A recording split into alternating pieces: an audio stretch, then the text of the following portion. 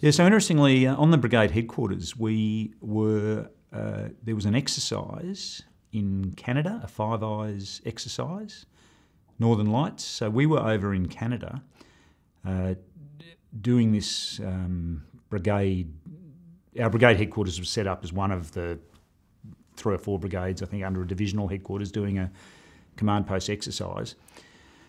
And the genocide was starting to unfold in Rwanda, and we, uh, of course, in those days, I mean, we used to listen to the news all the time about where the opportunity might come for the next sort of mission. Um, and the Canadians announced that they were going, and we were at that stage very sort of envious of them. And of course, we were a high readiness, rapid deployment sort of organisation too.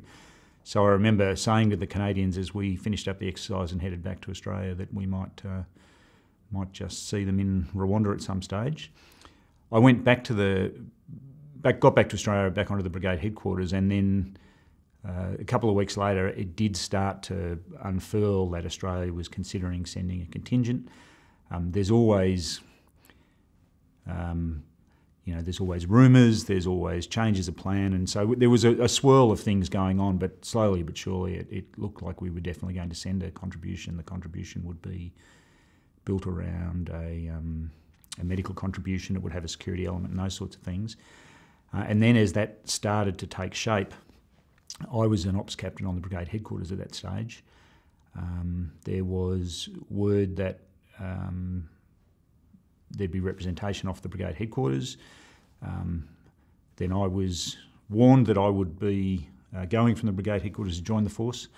And then I was told that was no longer the case. And then I was told that I was going again. And then I was told I wasn't going again. That's also a feature of many of these operations as well. So um, you know, some of us who were in that game for a long time joked that if you hadn't been sort of put on the manifest and taken off the manifest a couple of times, the operation didn't really count because uh, that cycle of great excitement and disappointment was always very much a part of those um, the rapid deployment uh, units. And sometimes you you were warned and got quite close to going on things, and then they were cancelled altogether. So that certainly happened to me in later years when I was the um, the online uh, ready company commander. You know, we were warned to go to Cambodia and we're in the final stages of preparation to go and help evacuate people out of Cambodia, and then suddenly we weren't going.